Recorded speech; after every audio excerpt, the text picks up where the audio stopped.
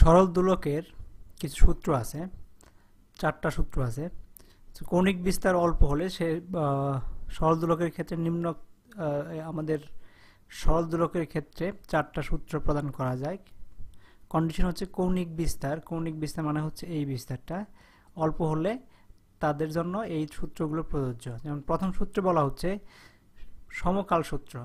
তার মানে কৌণিক বিস্তার অল্প হলে এবং দুলনের কার্যকরী দৈর্ঘ্য অপরিবর্তিত থাকলে মানে এই দৈর্ঘ্য যদি অপরিবর্তিত থাকে এবং কৌণিক সাধারণত তিন, চার, পাঁচ ডিগ্রি যদি হয়, যদি সেরে দেই, তাহলে এর যে থাকলে নির্দিষ্ট স্থানে একটি সরল দুলকের প্রতিটি দুলনের জন্য সমান সময় লাগে।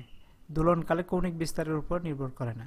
এখানে পাঁচ ডিগ্রি দিলে যে সময় লাগবে ঠিক একইভাবে আমি যদি তিন ডিগ্রি, দুই ডিগ্রি দেই, তাহলেও ঠিক একই সময় লাগবে। তো এই অল্প বিস্তারের জন্য সময়ের কোনো পার্থক্য হয় না। যদি আমি পাঁচের জায়গায় ছয় দেই, তাহলেও সেই একই সময় লাগবে। এর সাথে বেশি সময় লাগবে না। এটা ছিল আমাদের প্রথম সূত্র, যেটা হচ্ছে সমকালের সূত্র। মানে কৌণিক বিস্তার যদি কম হয় এবং এই দৈর্ঘ্য যদি অপরিবর্তিত থাকে, তো প্রত্যেকটা কৌণিক বিস্তারের জন্য আমাদের একই সময় লাগবে একটি দোলনকালের জন্য একই সময় লাগবে। দ্বিতীয় সূত্র হচ্ছে দৈর্ঘ্যের সূত্র। তার মানে কৌণিক বিস্তার অল্প হলে কোনো নির্দিষ্ট স্থানে, কৌণিক বিস্তার আগে যা ছিল সেইভাবে রাখব, নির্দিষ্ট স্থানে সরল দোলকের দোলনকাল এর কার্যকরী দৈর্ঘ্যের বর্গমূলের সমানুপাতিক, সমানুপাতে পরিবর্তিত হয়। যেমন, এখন এটার দৈর্ঘ্য হচ্ছে আমার যদি নেই লেটসে হান্ড্রেড সেন্টিমিটার তো এখন দৈর্ঘ্য যদি পরিবর্তন করি, তাহলে যেটা হবে, এই সরল দোলক আমার এইখান থেকে তিন ডিগ্রিতে ছেড়ে দিলে যে সময়কাল পাওয়া যাবে, একটা দোলনের জন্য যে সময়কাল, দোলনকাল, এর কার্যকরী দৈর্ঘ্যের বর্গমূলের সমানুপাতিক। তার মানে বর্গমূল হচ্ছে সময়কাল টি যদি ওয়ান সেকেন্ড হয়, আর এটার দৈর্ঘ্য হচ্ছে হান্ড্রেড তার মানে হান্ড্রেডের হচ্ছে দশ, দশের সমানুপাতিক। তার মানে হচ্ছে এই, এটার দৈর্ঘ্য যদি আমাদের জানা থাকে হান্ড্রেড হান্ড্রেডের যদি রুট ওভার করি, যদি বর্গমূল বের করি, তাহলে দশ, তার মানে এটুকু আসতে তার দশ সেকেন্ড সময় লাগবে। তৃতীয় সূত্র হচ্ছে, কৌণিক বিস্তার অল্প হলে এবং সরল দোলকের কার্যকরী দৈর্ঘ্য এল অপরিবর্তিত, এটা যদি অপরিবর্তিত থাকে, তাহলে দোলনকাল টি এর দোলনকাল টি অভিকর্ষ ত্বরণ স্মল জি এর বর্গমূলের ব্যস্তানুপাতিক। তার মানে যে সময়টা হবে সেটা রুট ওভার অফ অভিকর্ষ ত্বরণ মানে জি এর রুট ওভারের সমান হবে। তো এইটা যদি এরকম দেই, তার মানে এটার যে সময়কাল, সেটা ত্বরণ, যে অভিকর্ষ যে ত্বরণ আছে, তার বর্গমূলের সমানুপাতিক হবে।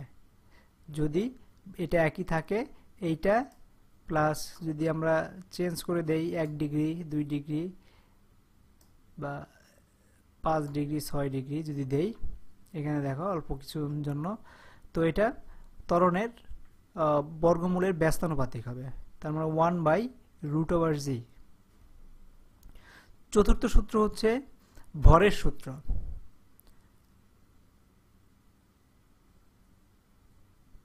ভরের সূত্র হচ্ছে কৌণিক বিস্তার অল্প হলে এবং কার্যকরী দৈর্ঘ্য অপরিবর্তিত থাকলে। কৌণিক বিস্তার যদি অল্প হয় এবং কার্যকরী দৈর্ঘ্য যদি অপরিবর্তিত থাকে, থাকলে কোনো নির্দিষ্ট স্থানে সরল দোলকের দোলনকাল, ববের ভর মানে এটার ভর, আয়তন, উপাদান ইত্যাদির উপর নির্ভর করে না। বিভিন্ন ভর, আয়তন বা উপাদানের ববের জন্য দোলকের দোলনকাল একই হবে। তার মানে কৌণিক বিস্তার যদি অল্প হয়, চার থেকে পাঁচ ডিগ্রির মধ্যে যদি হয়, আর এর দীর্ঘ, এর দৈর্ঘ্য যদি অপরিবর্তিত থাকে, তাহলে কোনো একটা স্থানে সরল দোলকের দোলনকাল, ববের ভর, উপাদান ইত্যাদির উপর নির্ভর করবে না। তার মানে সেটা একইভাবে থাকবে। তার মানে প্রথম সূত্র আমাদের গেল সমকাল সূত্র, যেখানে কোনো বিস্তার যদি অল্প থাকে কার্যকরী দৈর্ঘ্য অপরিবর্তিত থাকে, নির্দিষ্ট স্থানে একটি দোলকের প্রতিটি দোলনের জন্য সমান সময় লাগবে। আবার যদি এরকম, আমরা যদি এটাকে ছোট করি লেন্থটা যদি ছোট করি যদি দ্বিতীয় সূত্র হচ্ছে দৈর্ঘ্যের সূত্র। কৌণিক বিস্তার অল্প যদি থাকে, নির্দিষ্ট স্থানে সরল দোলকের দোলনকালের কার্যকরী দৈর্ঘ্য এর বর্গমূলের অনুপাতে সমানুপাতে পরিবর্তিত হবে। তার মানে এইখানে এই ছোট থাকা অবস্থায় যে দোলনকাল হবে, এটা যদি বড় করি, তাহলে এটার বর্গমূলের সমানুপাত হবে। টি যে সময়টা লাগবে, এই লম্বার বর্গমূলের সমানুপাত হবে।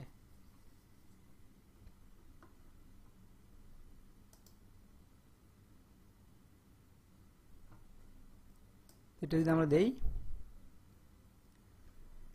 তারপর তৃতীয় সূত্র হচ্ছে ত্বরণের সূত্র, যে সময় কৌণিক বিস্তার অল্প থাকে এবং দোলকের দৈর্ঘ্যের যদি দৈর্ঘ্যের যদি পরিবর্তন না হয়, তাহলে দোলকের অভিকর্ষণ ত্বরণের বর্গমূলের সমানুপাতিক হবে।